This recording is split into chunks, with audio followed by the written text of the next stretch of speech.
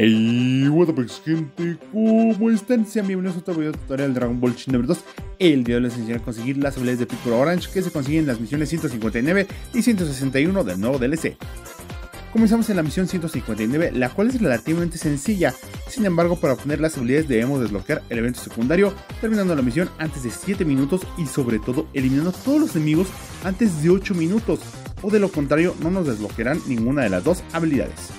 No es necesario llevarse un equipo, pero este ayuda muchísimo. No importa si es primer ataques definitivos o pelean a puro combo, pero sí es indispensable terminar antes de 8 minutos. De hecho, mientras menos tiempos hagan, podrán desbloquear puño feroz y destrucción demoníaca de una sola partida. Ahora pasamos a la misión secundaria 161, donde debemos terminar antes de 7 minutos para desbloquear el evento secundario y eliminar a Pico Orange al final con un remate definitivo.